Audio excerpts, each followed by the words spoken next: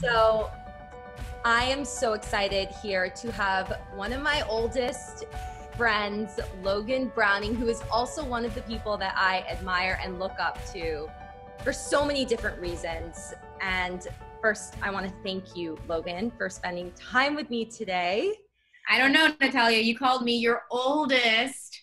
I One said of your one of one of my longest, one of my longest lasting friends. There we go. longest lasting friendships.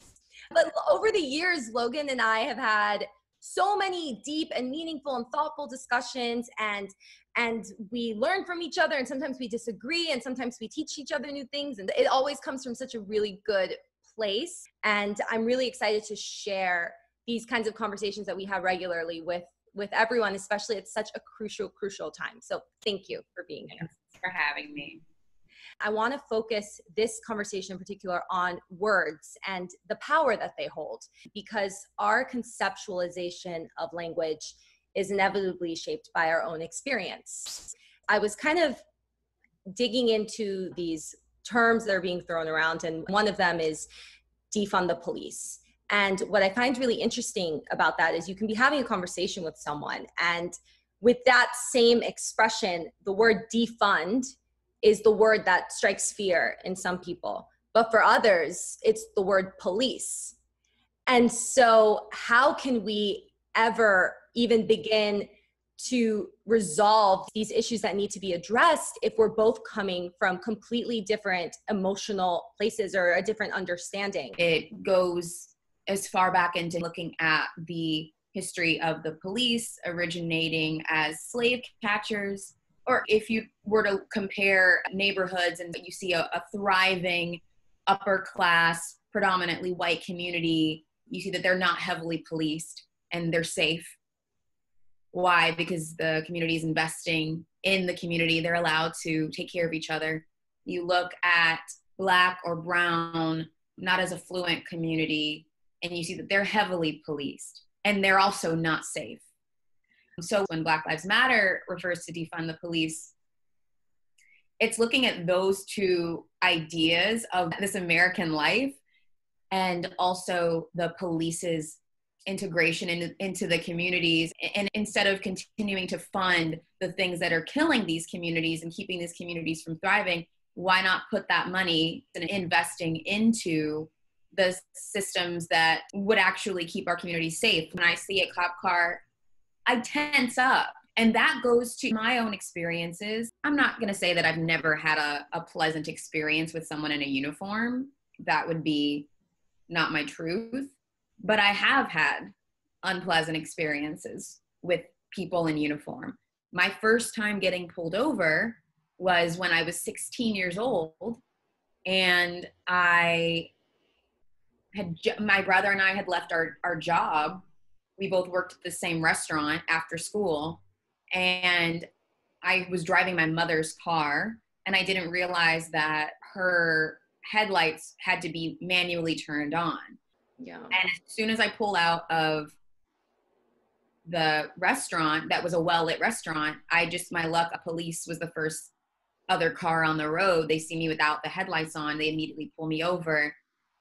Two cops approach either side of my car, one with a gun drawn and his flashlight. That is that was my very first experience of getting pulled over was having in the middle of the night having someone tapping on my window with their flashlight and having and I saw it in my side view mirror. It was the gun and the flashlight. That's how he literally came to my I was 16 with my 15 year old brother in the car. And then another cop on the other side was interrogating my brother as this one's interrogating me.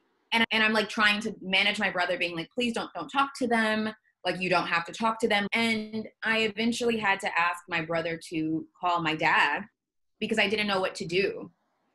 And honestly, I still don't think I have reconciled that trauma because I don't remember what happened after my dad got there. So you couple that with then what I've seen people who look like me endure.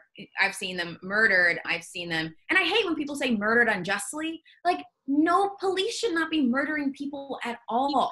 Yeah. And it's not un- Okay, speaking of language, murder unjustly is an oxymoron. Justice is when you go to court, you have a trial and you are convicted.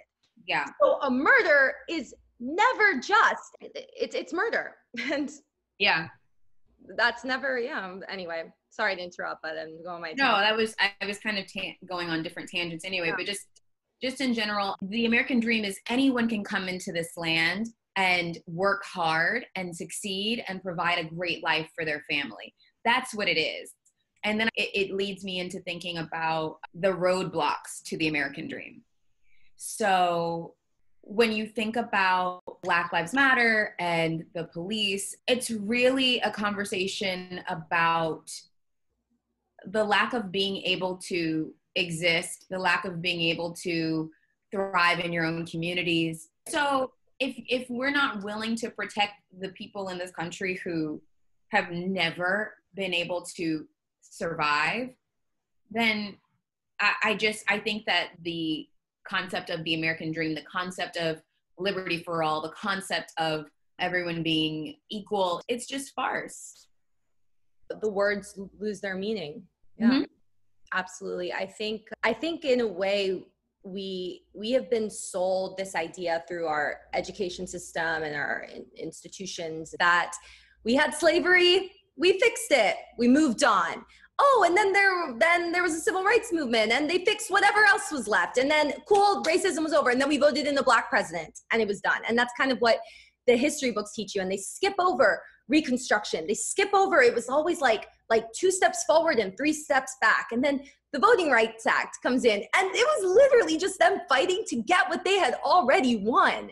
And mm-hmm. it's just this constant struggle of moving forward and moving backwards. And I, I am a big believer in reaching across the aisle. And I think communication is probably the most important thing. And at the same time, I also want to be cognizant of the fact that I'm saying that coming from someone who really hasn't ever faced any type of oppression in my life. I've never I've never truly had to go and reach across the aisle and have a conversation with someone who who genuinely doesn't acknowledge my right to exist as equal to them. And so someone in in a lecture I was at the other day said something that really stuck with me. She said that expecting those who are oppressed to listen to their oppressors at that same level is unfair. We're placing an unfair burden on those people. And that really struck me because I'd never thought of it that way before. So I guess I wanted to know how do you cope with with this this constant battle? If I am to think back, I definitely had those moments that were that were extremely overwhelming because I had conversations with people who I like it hurt my heart to even talk to them. But I think that what this moment in time made me realize is this fight and these conversations and the necessary cultural movements and things they've they've been happening even while we were dormant in our activism even while we were not paying attention like I think about Black Lives Matter and the fact that they're in front of um, Jackie Lacey's office every Wednesday. You know, that didn't start when all of this happened. So I guess it's just, it was a reminder to me when all of this happened that obviously it was important for, for everyone to try to capitalize on that moment and, and get as many people on board with caring as possible, even if they're not, you know, paying attention every single day afterwards but it, it, helped me remember that every single day that there is a fight that there's just so much work to be done i'm curious to know what you think is the most productive response to all lives matter. That maybe just a smile. Is it worth engaging? Because i again it goes back to communication. I still firmly believe that communication is everything and we got to talk to people. But again, I, I, get it. Like you just want to throw your hands up and be like, I'm not even going to engage with this. Well, well, then here's when people say Black Lives Matter, no one is saying Black Lives Matter, comma, and and then like and a clause only, like, only. Yeah, there's no clause. It's just like, hey, we matter. And and I think that I don't know. I guess a productive. Res- I had I have never thought of a productive response to all lives matter. I, I think you're right in like obviously we should be able to have these conversations to like build the bridge. But you really think about if someone if their thinking has gone that far, sometimes I feel like even my most productive response is not going to save them from that kind of thinking. I, I guess I almost come to an impasse and I go, you know what? My most productive response is to continue to protect the Black lives. Because if I spend my productive time trying to teach you why why Black Lives Matter is important, if I'm spending my time trying to teach you that, then I'm not protecting us. You're actually a distraction, and and that distraction is dangerous, and that distraction is deadly. And yeah. and I'm smarter than that. I'm, it's like if if we're out, I don't know. I'm I'm picturing this like field of I don't know, it's like a war zone and like I have someone going like why are you why are you picking that person up? You know they're to they're to die anyway. Why are you doing that? And I'm like if I stand here and argue with you about why I'm doing it, they're going to die.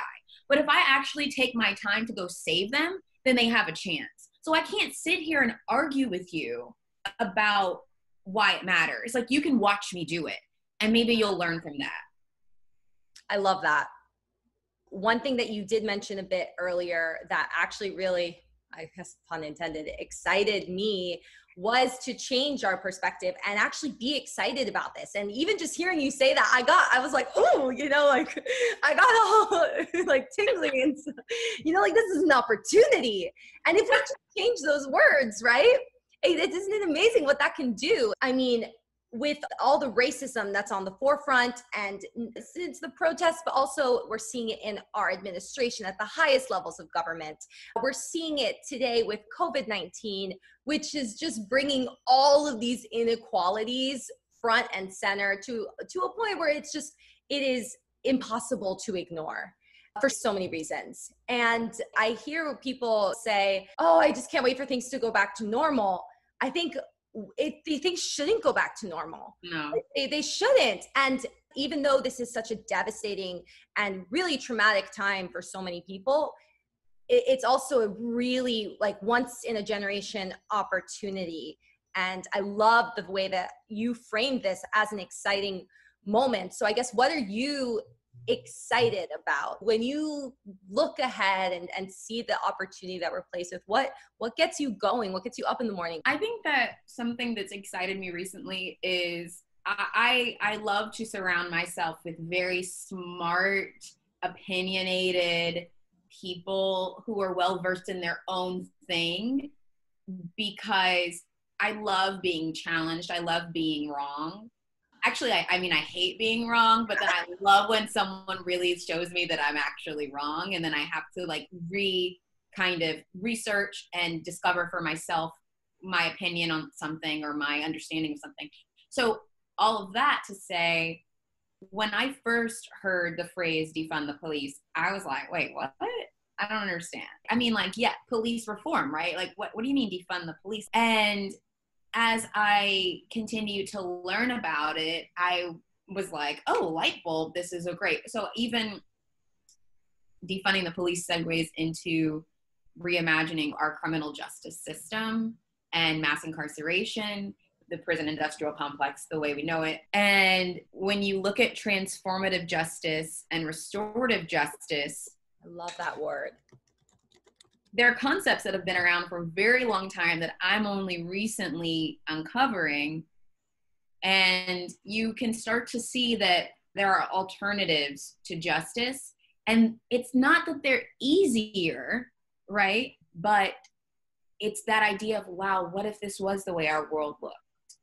And I think that's what's exciting me and that's what's getting me up every morning is realizing that I've existed with this status quo, this understanding that this is the way the world works this yeah. is the way that justice works but realizing when that light bulb has gone off and i'm like oh wow if i take the time i can really educate myself on these alternatives and then i can also pass it on and we can all imagine really a safer world yeah I think those are some of my favorite words that have come out of this whole conversation. It's reimagining, reconceptualizing, breaking down these concepts that have just been handed to us that we've accepted without questioning.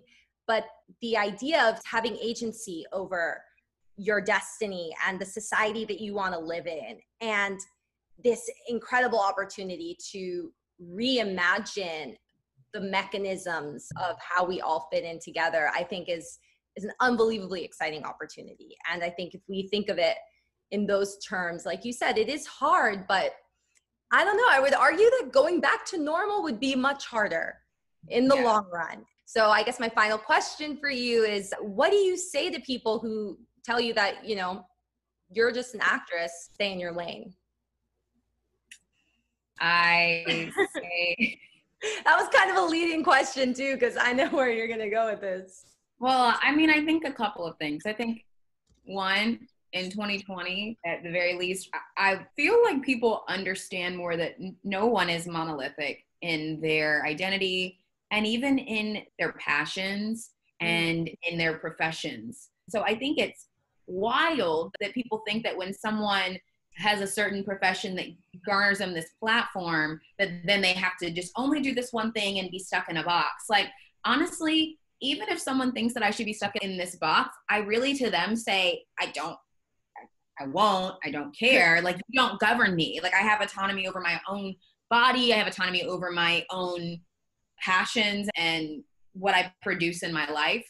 And I also would say that if you look at the history of the civil rights movement, of any movement, art is always at the center of it. Young people, art are at the center of every single movement.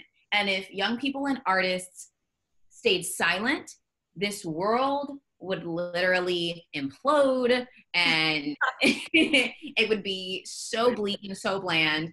And I also say that I use my art as my activism and that art influences people a lot right now. I mean, you look at this show I'm on, Dear White People, has had a 600% surge of viewership right now. Why? Because people are looking for answers. What do you turn to? You turn to books, you turn to film, you turn to poems you like you turn to music you turn to art when you want to find the answers to your questions so when people say that I, I guess i would i would hold up a mirror to them and ask them would they want to be so limited?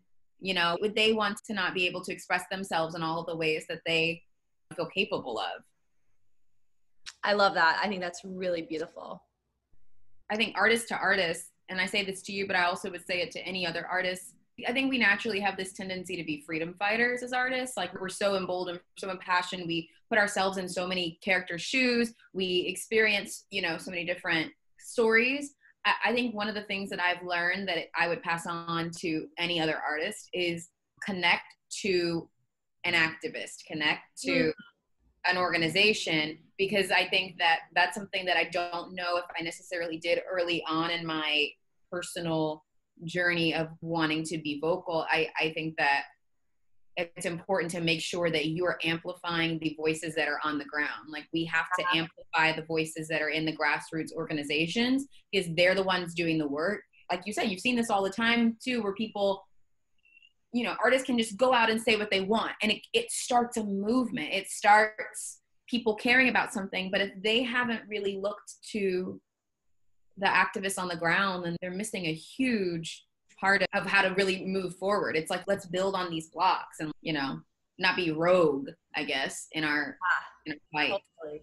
I think that's really, really great advice. It, it, almost takes off the pressure that you need to be the most well read, well spoken, informed, and like be a great actor and do all. It's like, no, you don't. We're a collective we can all lean on each other and, and we all serve a purpose. Every single person in society can play a part in this and we can all help each other. No one should have to carry this burden alone. Yeah. And so I think that's, a, I think it's a really nice way to, to look at it. We all have a role. Mm-hmm. And on that note, I can't thank you enough. You've been so gracious with your time and generous and thoughtful, and as always. And I adore you. So love so- you too. Thanks for having me.